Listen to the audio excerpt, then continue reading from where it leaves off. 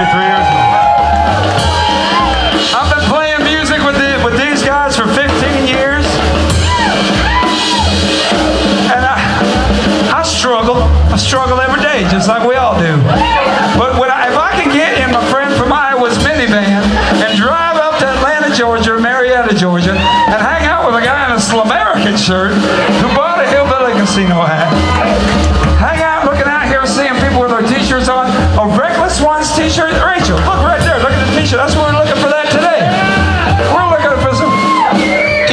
Chevrolet, my box Chevrolet, with